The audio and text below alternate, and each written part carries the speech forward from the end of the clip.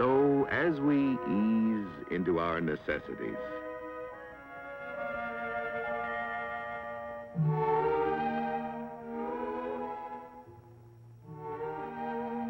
as we nestle into our comforts,